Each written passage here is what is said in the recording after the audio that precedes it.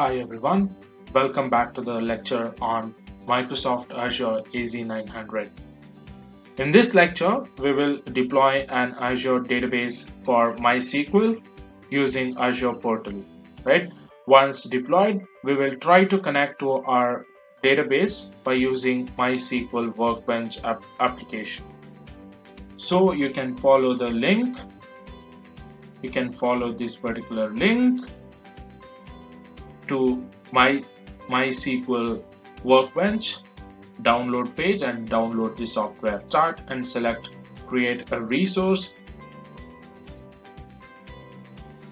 Alright, uh, now we can go ahead and search for MySQL here. Type in MySQL database, click enter so now let us select Azure database for MySQL and we can go ahead and click on create. Alright, uh, we can select a single server for this particular example. Go ahead and click on create. Alright, uh, we need to give some specifications here. So the subscription as usual for any resource you need a subscription go ahead and select the subscription resource group. Go ahead and select your own resource group. If you do not have one go ahead and click on create a resource group. Now we need a server name. Let's say for example az900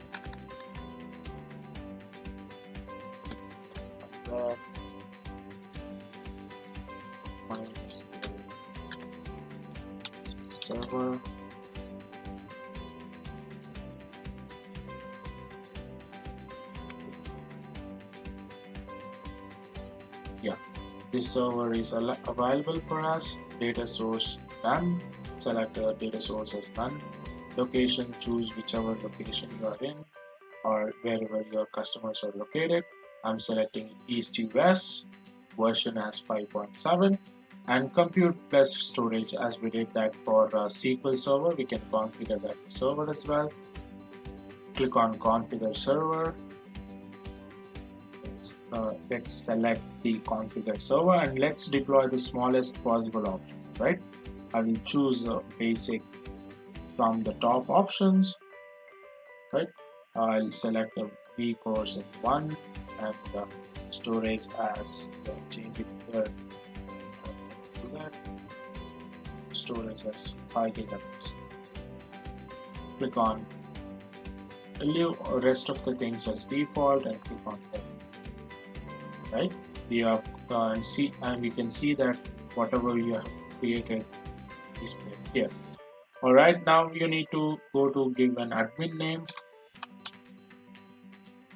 and a password go ahead give uh, go ahead and give a valid password and confirm that as well. Alright both of that confirm go to additional settings. I'm leaving that as default. Tags leave that as default. After that review and create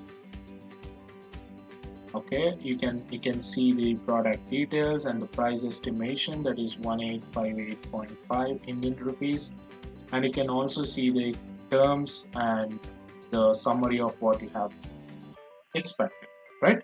So now uh, let's go ahead and click on create. It will take a couple of minutes or maybe 5 to 10 minutes. Let us come back and see how uh, we can use this MySQL server Alright, uh, we need not wait because I have created a MySQL server before by following the same procedure, right? So let's go to home. Let's go to resource group.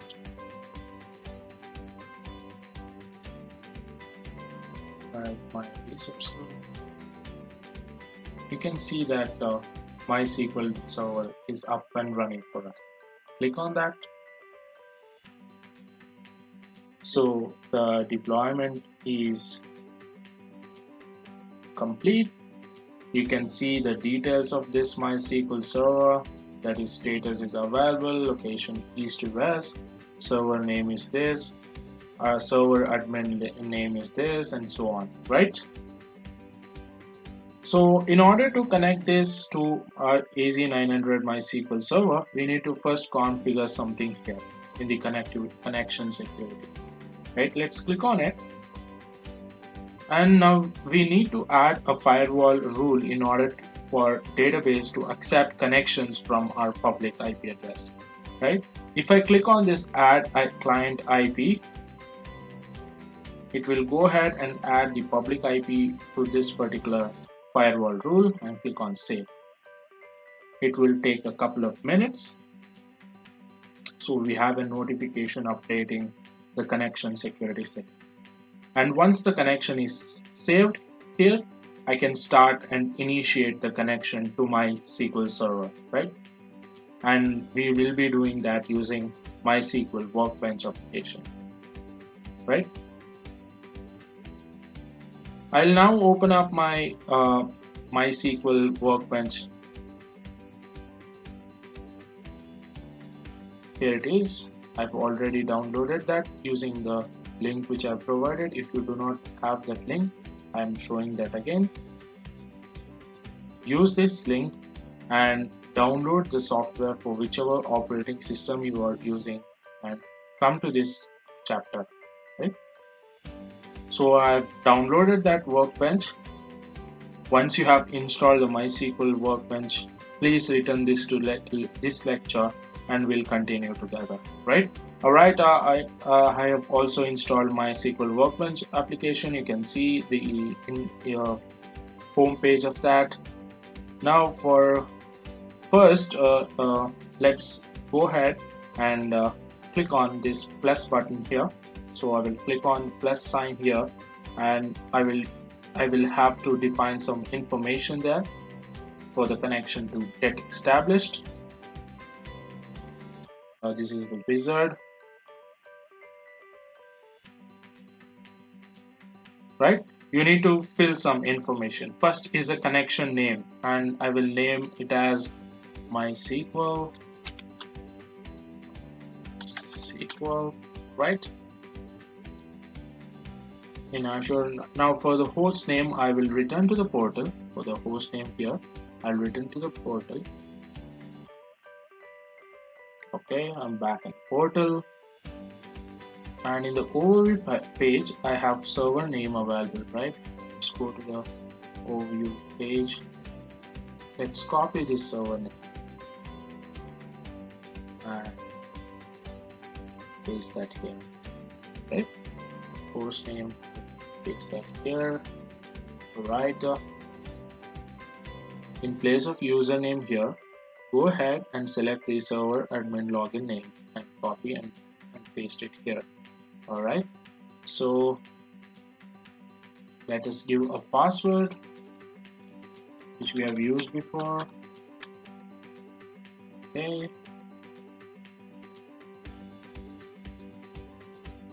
Okay.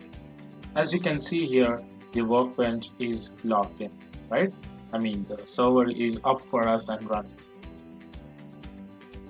now uh, let's just test the connection and the result is uh, successful or not uh, for, for the MySQL connections.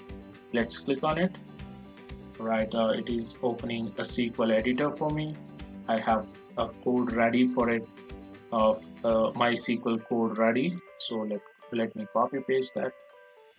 I hope you have downloaded this by using this link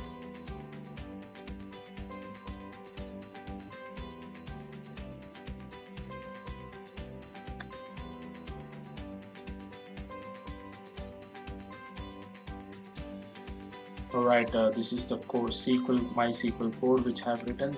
Let me copy paste that. Right, uh, let me wait for the bench to work open. Alright, uh, now we are in the workbench.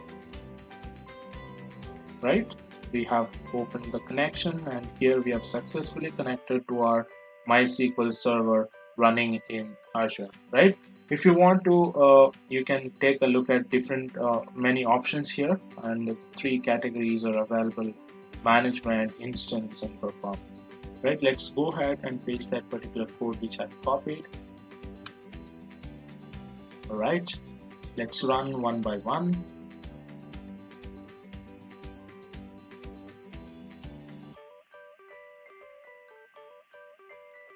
You can see the output here select that let's create a table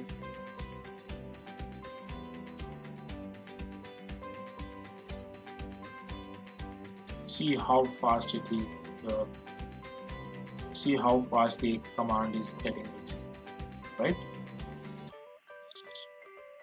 Really awesome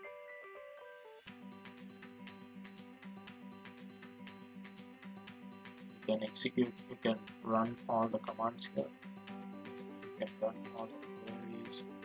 See all the queries are getting executed here. Do it again. Alright. So then you can execute all the commands and see if it is working fine.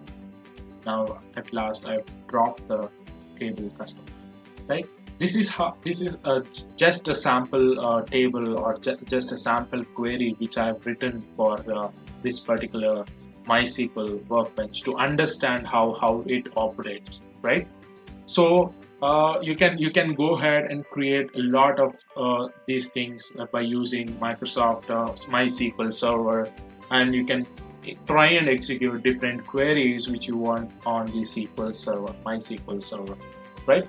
This is it for this lecture. I hope you liked it and we have talked about how to create a MySQL server, how to connect that SQL server, My, MySQL server by using MySQL Workbench that is a third-party application, right? We have successfully deployed and connected to our MySQL server running in Azure.